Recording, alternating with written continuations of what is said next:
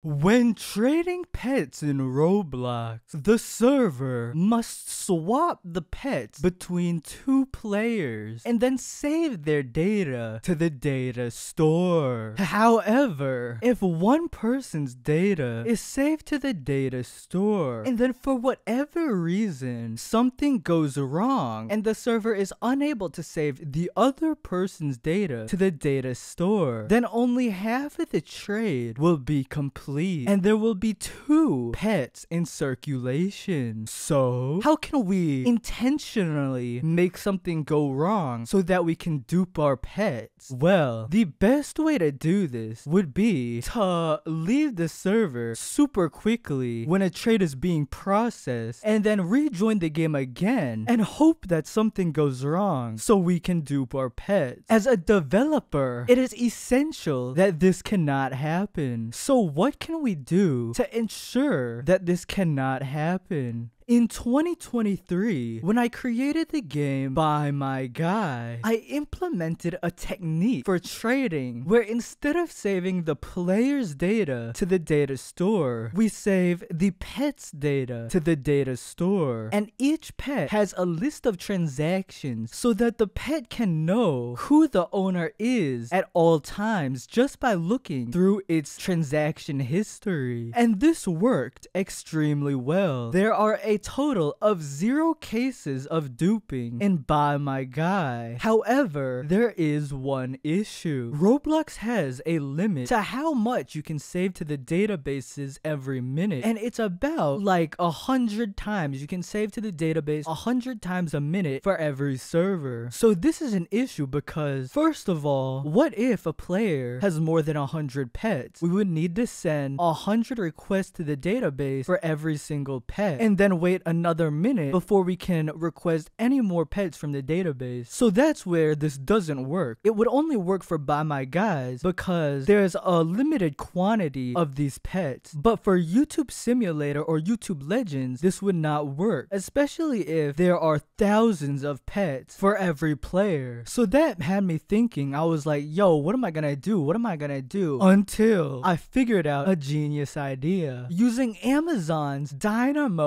DynamoDB, which is a service they have for hosting databases, I created my own external database and I call it the Indie Cloud. Every time you unlock a new pet, the pet is saved to the Indie Cloud. Whenever you trade a pet, that trade is also saved to the Indie Cloud. And a pet can only be traded once everything has been uploaded to the Indie Cloud. This allows us to know how many of a pet is in circulation and also where every single pet is at all times and also where the pet has been at all times. This opens the door for external use of these pets. Like I could literally make a site that can where you can like see where all the pets are or where all the pets have ever been. And there's a lot of things we can do with this genius technology. But for now what I've done is each pet has a unique serial ID